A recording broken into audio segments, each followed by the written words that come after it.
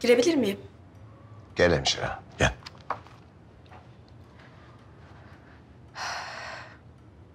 Nedim Bey'in ilaçlarını yeniledim biliyorsunuz. Bundan sonra ilaçların kontrolünün sadece bende olmasını istiyorum. Daha önce de söylediğim gibi. Karışıklık olmasın diye. Ayrıca fizik ve konuşma terapisine de başladık. İyi etmişsin. Sen nasıl istersen öyle olacak. Ne dersen o olacak.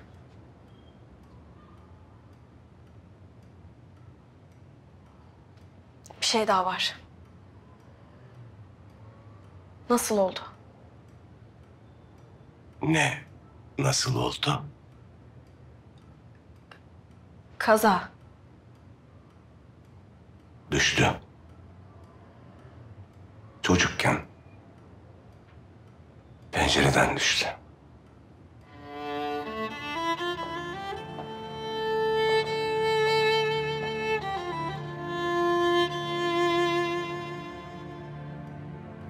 Görünmez kaza dediklerinden.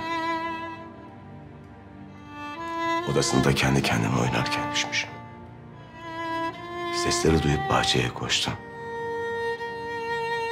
Kalabalığı görünce... Tabii insan konduramıyor.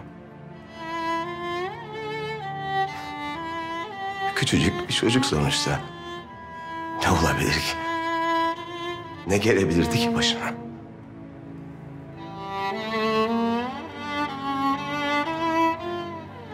Koştum yardım kalabalığı. Baktım. Öylece yerde yatıyordu Aslı.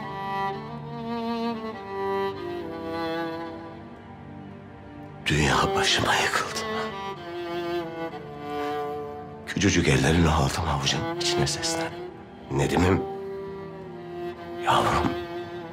Aslanım. Uyuyordu sanki. Sonra bir ara gözlerini açtı. Gözlerime bakıp bana öyle bir amcam dedi ki.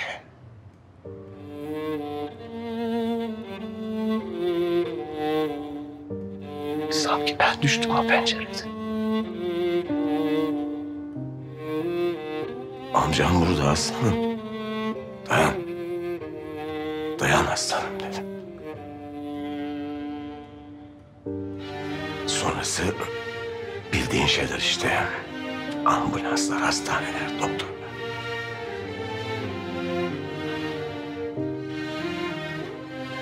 Ben ona çok iyi bakacağım. Gözünüz arkada kalmasın.